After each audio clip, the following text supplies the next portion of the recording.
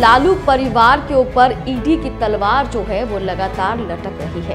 बहुत सारे ऐसे विपक्षी दल हैं जिस पर ईडी और सीबीआई की छापेमारी की जा रही है। झारखंड में हेमंत सोरेन की कुर्सी पर ईडी की तलवार जो है वो लटक रही है। जहाँ विपक्षी दल इसको जानबूझकर की जा रही कार्रवाई बता रहा है तो वहीं सत्ता दल का कहना है कि जो भ्रष्ट है, उस पर ईडी जैसी केंद्रीय एजेंसियाँ काम कर रही है।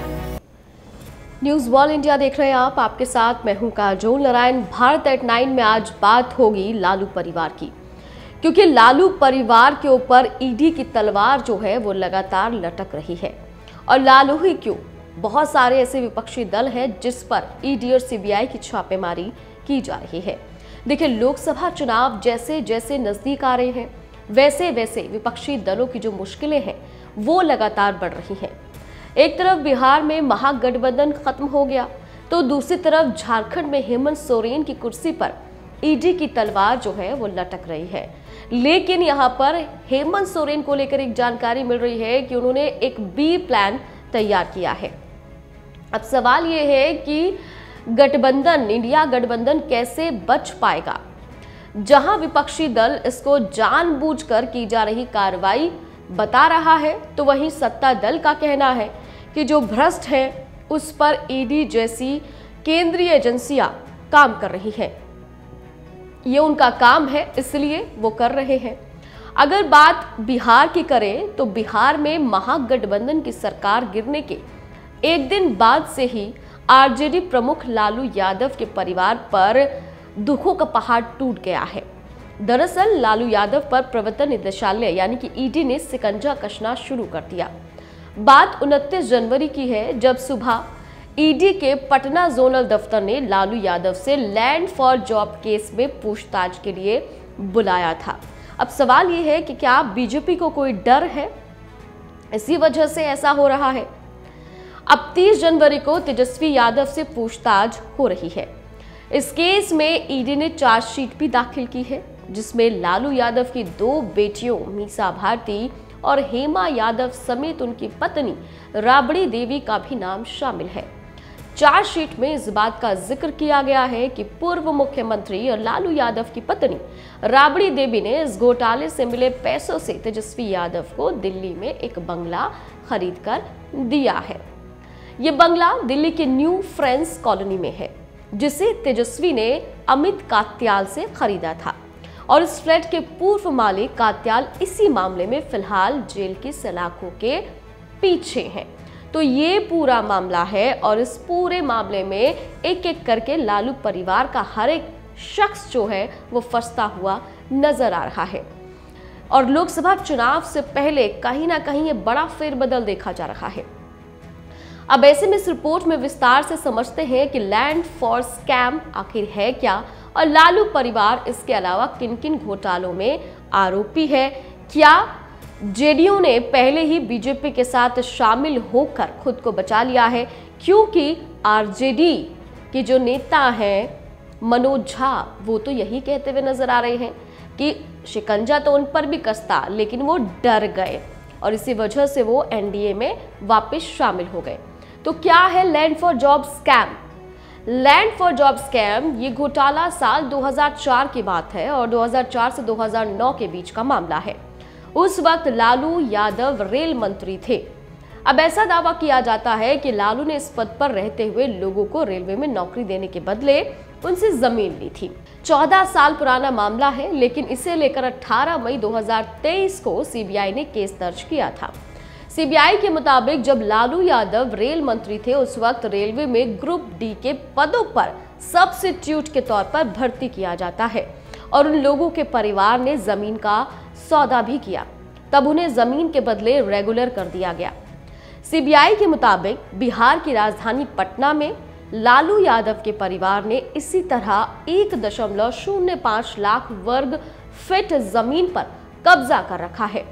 सीबीआई के मुताबिक इस ज़मीन को लालू परिवार ने नकद देकर खरीदा और उस वक्त इन जमीनों को बेहद कम दामों में बेचा गया।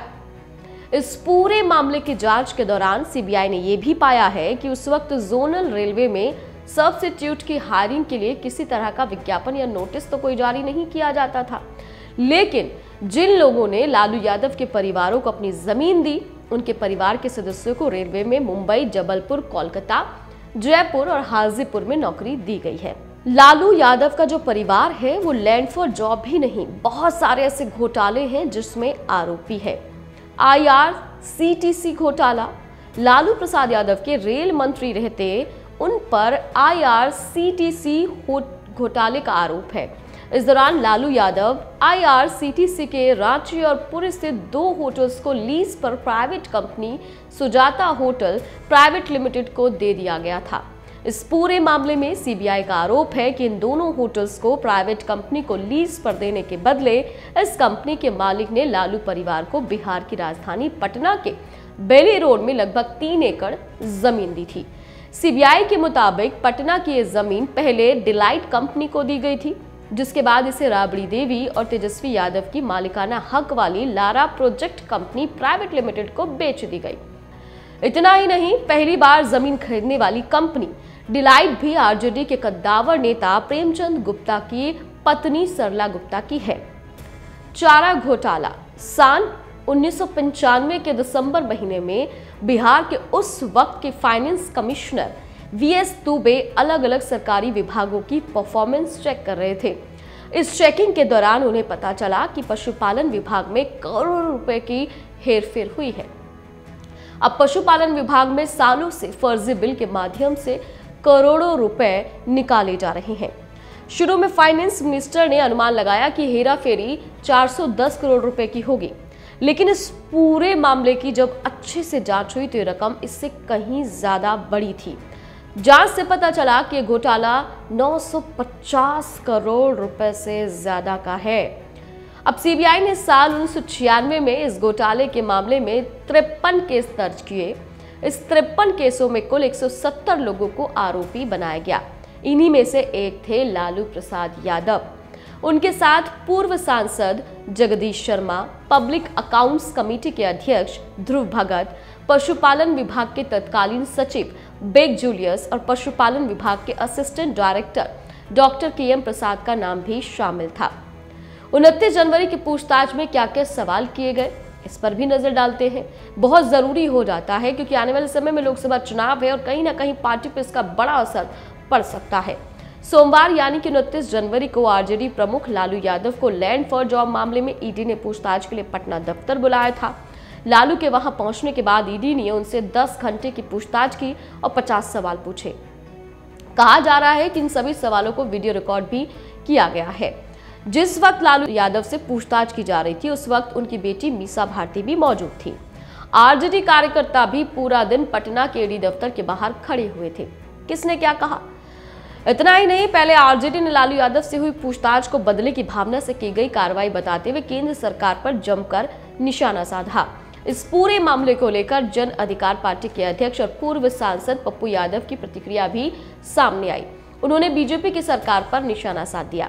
दरअसल उन्होंने सोशल मीडिया पर लिखा, आदरणीय लालू प्रसाद जी की उम्र, आस्था और बीमारी के बावजूद नौ घंटे तक पूछताछ संस्थाओं के पतन की पराकाष्ठा है। भाजपा सरकार को मटिया मेटकर लोकतंत्र को मर्यादाओं की रक्षा करे। वहीं आरजेडी चीफ और लालू यादव की बेटी रोहिणी आचार्य ने भी बीजेपी पर निशाना साधते हुए कहा। लोग कहते हैं, लालू और लालू परिवार झुकेगा नहीं, छापो पूछताछ का इस सिलसिला रुकेगा नहीं। जितना प्रताड़ित परेशान करोगे, उससे और ज़्यादा मज़बूत होगा लालू राबड़ी परिवार। अब बीजेपी ने भी इस पर प्रतिक्रिया दी। लालू यादव से ईडी की पूछताछ पर बीजेपी नेता रविशंकर प्रसाद ने तंज कसते हुए कहा कि, आप लूटेंगे तो जेल तो जाएँगे ही। लालू यादव की बेटी ने अंदेशा जताया था कि सरकार उनके पिता को गिरफ़्तार कर सकती है। तो ये था लालू परिवार का मैटर किन किन घोटालों में उनका नाम है और किस तरह से लालू परिवार पर इस तरफ़ ईडी और सीबीआई का सिकंजा जो है वो कसता जा रहा है। लेकिन ये बिहार तक ही सीमित नहीं है, ये बिहार से झारखंड तक है। हेमंत सोरेन को लेकर भी ईडी की पूछताछ जारी है। दरअसल ईडी के नोटिस के बाद गायब रहे झारखंड के मुख्यमंत्री हेमंत सोरेन का पता चल गया है। रिपोर्ट के मुताबिक वो रांची में है। खबरों की माने तो सूत्रों के हवाले से बताया गया कि सोरेन उनतीस जनवरी की रात को ही रांची पहुँच गए थे। अब सीएम आवास में हेमंत सोरेन के सत्ताधारी गठबंधन के विधायकों के साथ बैठक की भी खबर थी। हेमंत सोरेन सोमवार को लापता थे। ईडी की टीम उन्हें तलाशते हुए दिल्ली तक पहुँची, लेकिन उनका कुछ भी पता नहीं चल सका। अब हेमंत पर क्या आरोप है? ऐसा नहीं है कि पहली बार हेमंत का नाम ऐसे सामने आ रहा हो। हेमंत सोरेन का नाम पहले भी सामने आ चुका है। सबसे बड़ा सवाल यह है कि आखिर क्यों ईडी हेमंत सोरेन के खिलाफ कार्रवाई कर रही है? झारखंड मुक्ति मोर्चा और हेमंत सोरेन जहाँ इसे राजनीतिक से प्रेरित कार्रवाई बता रहे हैं तो वहीं बीजेपी इसे भ्रष्टाचार के खिलाफ सख्ती बता रही है। फ़िलहाल ईडी जिस मामले में हेमंत सोरेन पर कार्रवाई कर रही है, वो ज़मीन और खनन घोटाले से जुड़ा हुआ है। सोरेन को इसी मामले में मनी लॉन्ड्रिंग निवारण अधिनियम की धारा 50 के तहत जाँच के संबंध में 10 समन जारी किए गए। जाँच एजेंसी दो प्रमुख मामलों की जाँच कर रही है, जिसमें राज्य की राजधानी में अवैध खनन और ज़मीन घोटाला शामिल है। ज़मीन घोटाले का मामला सेना के कब्जे वाली ज़मीन की खरीद बिक्री से जुड़ा हुआ है। फर्जी नाम पता के आधार पर झारखंड में सेना की ज़मीन की खरीद फरोख्त हुई थी। इस सिलसिले में रांची नगर निगम के एफआईआर दर्ज करवाई थी। ईडी ने उसी एफआईआर के आधार पर प्रवर्तन मामले की सूचना रिपोर्ट दर्ज करके जाँच शुरू की थी। इसके अलावा ईडी 2022 से राज्य में अवैध खनन से हुई आय के 100 करोड़ रुपए की जाँच भी कर रही है। अब तक क्या क्या हो चुका है?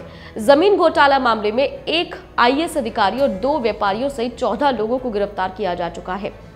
2011 बैच के आईएएस अधिकारी छवि रंजन इस मामले में ईडी की गिरफ्त में है। रंजन राज्य के समाज कल्याण विभाग के निदेशक और रांची के उपायुक्त के रूप में कार्यरत थे। ईडी ने इसी महीने अवैध खनन की मनी लॉन्ड्रिंग जाँच के तहत सोरेन के प्रेस सलाहकार, साहिबगंज ज़िले के अधिकारी और एक पूर्व विधायक के परिसरों पर भी छापेमारी की थी। इस दौरान आरोपी के पास ज़रूरी दस्तावेज़ भी मिले। ईडी अब तक 236 करोड़ रुपए की संपत्ति कुर्क कर चुकी है। ईडी ने सोमवार को झारखंड के मुख्यमंत्री हेमंत सोरेन के दिल्ली स्थित आवास पर छापा मारा। इस दौरान सीएम तो नहीं मिले, लेकिन ईडी की टीम ने उनके घर से भारी मात्रा में कैश बरामद हुआ है। ईडी के मुताबिक हेमंत सोरेन के घर से करीब 36 लाख रुपए कैश मिला इसके अलावा ईडी ने उनकी दो लग्जरी कार भी जब्त कर ली है। ईडी ने इन दोनों मामलों में हेमंत सोरेन को आठ समन भेजे।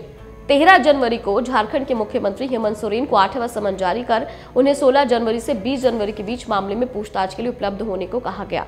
लेकिन हेमंत ने ना तो कोई जवाब दिया, ना ही उपलब्ध हुए। इसके बाद ईडी ने पिछले दिनों ही दसवां समन भेजा था। अब आगे क्या हो सकता है? सोमवार को ईडी की कार्रवाई और पूरे दिन लापता रहने के बाद ईडी के क्षेत्रीय कार्यालय को मुख्यमंत्री कार्यालय की तरफ़ से सोमवार देर रात एक ऑफिशियल लेटर भेजा गया। इसमें ईडी को बताया गया है कि हेमंत सोरेन इकतीस जनवरी को पेश होंगे। अब सूत्रों का कहना है कि ईडी इस मामले में हेमंत सोरेन को अरेस्ट भी कर सकती है। एहतियातन उनके घर के बाहर और अंदर बड़ी संख्या में सुरक्षा कर्मी तैनात किए गए हैं। प्लान बी जो मैंने शुरुआत में कहा था कि हेमंत सोरेन का प्लान बी क्या है, उस पर भी नज़र डाल लेते हैं। हेमंत सोरेन की गिरफ्तारी की अटकलों को देखते हुए झारखंड मुक्ति मोर्चा ने प्लान बी तैयार किया है। कहा तो ये जा रहा है कि इसके लिए सभी वर्कर्स को बड़े प्रदर्शन के लिए तैयार रहने को कहा गया है। फ़िलहाल ईडी की कार्रवाई के खिलाफ जेएमएम की ओर से रांची में प्रदर्शन भी किया जा रहा है। राज्य के कई जिलों के जेएम कार्यकर्ता रांची पहुँचे हुए हैं। ये कार्यकर्ता रांची के मोरहाबादी मैदान में जमा है। इसके अलावा हेमंत सोरेन की पत्नी को सीएम बनाने की भी चर्चाएँ तेज हैं। कहा तो ये जा रहा है अगर हेमंत सोरेन गिरफ़्तार होते हैं तो उनकी पत्नी को विधायक दल का नेता चुना जा सकता है। अब इससे समझा जा सकता है कि बिहार से लेकर झारखंड तक जो ईडी की छापेमारी है, वो लगातार जारी है। अब एक तरफ़ विपक्षी दल तो इसे कह रहे हैं कि सरकार डरी हुई है, इसी वजह से केंद्रीय एजेंसियों का गलत इस्तेमाल हो रहा है। तो दूसरी तरफ़ विपक्ष सत्ता पक्ष ये कह रहा है कि भ्रष्टाचार जो करेगा, वो बचेगा नहीं और सरकार ने ठाना है कि भ्रष्टाचार मुक्त पूरा भारत कर दिया जाएगा और ये तो शुरुआत है, आने वाले समय में बहुत सारी ऐसी तस्वीर हमें नज़र आ सकती है। अब सवाल ये है कि क्या जैसे बिहार में मुख्यमंत्री तो नहीं बदला, लेकिन सरकार ज़रूर बदल गई। तो क्या झारखंड में मुख्यमंत्री बदलेगा और सरकार भी नहीं बदलेगी? कैसी तस्वीर झारखंड में भी नज़र आएगी? या फिर अभी हमें थोड़ा इंतज़ार और करना पड़ेगा, क्योंकि आने वाले समय में बहुत कुछ बदलाव हो सकता है।